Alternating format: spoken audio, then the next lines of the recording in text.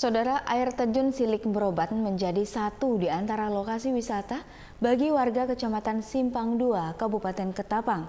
Objek wisata ini menawarkan air terjun dan lokasi alami yang masih terjaga keasliannya. Saudara informasi ini sekaligus menutup perjumpaan kita untuk Warta Ruai Malam edisi hari ini Selasa 3 Januari 2023. Saya Eva Karolin dan teman-teman yang bertugas undur diri. Terima kasih untuk perhatian Anda. Sampai jumpa.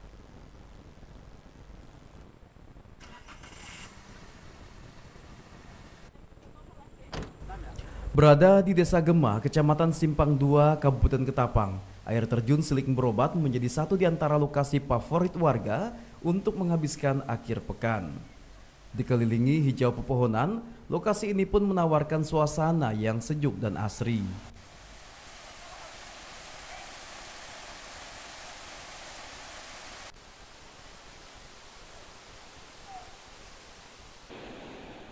Di musim liburan tahun baru, kawasan wisata ini ramai dikunjungi warga.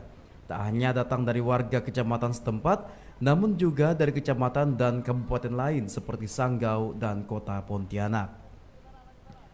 Pengunjung mengaku sangat menikmati wisata alam silik berobat, namun mereka meminta agar pemerintah mampu memperbaiki akses jalan agar lokasi ini semakin mudah dijangkau.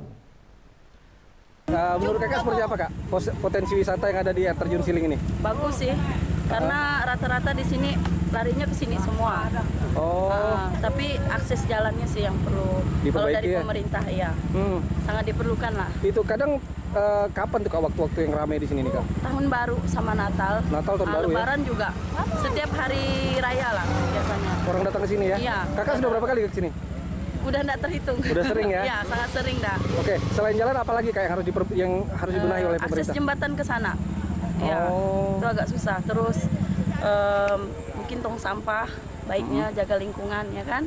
Nah, itu yang perlu diperhatikan sih. Ke Siling ini udah berapa kali bang? Baru satu kali. Baru satu kali. Tanggapannya seperti apa bang? Lumayan sih bang. Cuman ini ya nih jembatan ini tak ada. Oh akses jembatannya yang susah ya? Jembatannya yang susah. Jadi jalannya lumayan jauh lah. Oke. Apa yang paling berkesan bagi abang di air terjun Siling ini bang? Siling nih. Uh Yang dari oh yang di sekitar sini lah, yang di dari sana itu bagus di sini. Lebih bagus di sini ya? Bagus. Sih. Untuk menjaga lingkungan tetap bersih, pemuda setempat memungut sampah di lokasi wisata. Karang Taruna Desa Gema juga membuat imbauan agar pengunjung tidak membuang sampah sembarangan. Bahkan mereka membuat selebaran yang isinya jika kedapatan membuang sampah sembarangan akan dikenai denda Rp50.000. Uh, seharusnya itu kan hanya himbauan, mm -hmm. cuman kembali lagi ke uh, apa uh, pribadi masing-masing lah ibaratnya kesadaran kesadaran daripada pengunjung untuk membuang sampah himbauan tetap kami lakukan cuman kembali lagi kepada kesadaran yang mungkin sebetulnya bisa dikatakan itu kesadaran masyarakat atau pengunjung, pengunjung itu masih uh. belum ibaratnya uh, sadar dengan yeah. ibaratnya dampak lingkungan ataupun ibaratnya pencemaran lingkungan. Okay. Memang uh, kami lakukan sebetulnya sebelum uh, hari ini mm -hmm. itu memang kami sudah melakukan ibaratnya pembersihan di area uh, air terjun Siling Berobang.